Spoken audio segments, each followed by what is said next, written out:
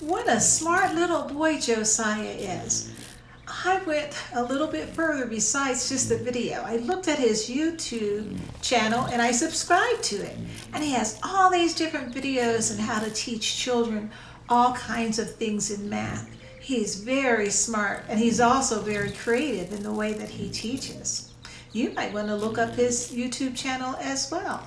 His name is Josiah Ackah, and that last name is A C K A H. You might learn something from Josiah in math.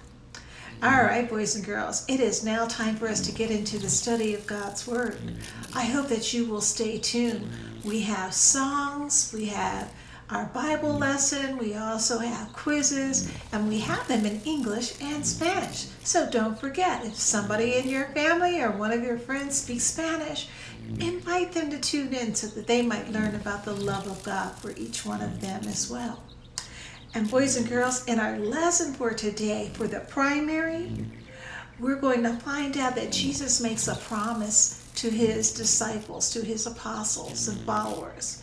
I want you to find out what that promise is and if he kept that promise. And then for the kindergartners, your lesson is disappearing spots. Hmm. Got to find out what that's all about, disappearing spots. Were they spots on somebody's eyes? Were they spots on an animal? Stay tuned and find out.